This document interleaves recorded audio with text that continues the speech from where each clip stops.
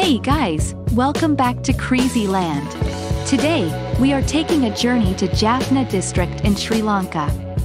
Jaffna is located in the northernmost region of Sri Lanka and is famous for its unique culture and heritage. Jaffna city is the capital of the Jaffna district and is a hub of activity. The city is famous for its delicious cuisine, historical buildings, and bustling markets. One of the most famous historical buildings in Jaffna is the Jaffna Fort. Built by the Portuguese in the 17th century, the fort is a testament to Jaffna's rich history. The fort was later occupied by the Dutch and the British, and now serves as a popular tourist attraction. The markets in Jaffna are also a must visit. The markets are a riot of color and are filled with fresh produce, spices, and handmade crafts. The markets are a great place to experience the local culture and interact with the friendly locals. Another famous attraction in Jaffna is the Nallur Kandaswamy Kovil, a Hindu temple dedicated to Lord Murugan.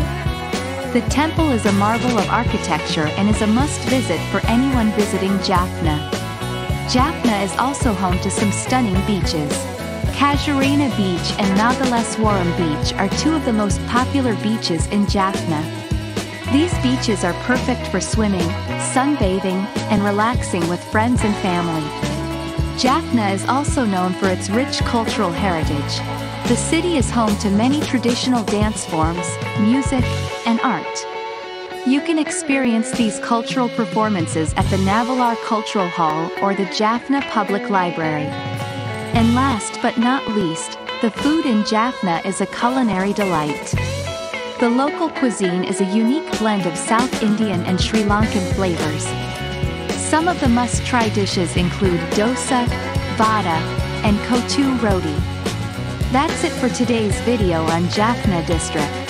If you enjoyed this video, make sure to hit the like button and subscribe to our channel for more travel videos.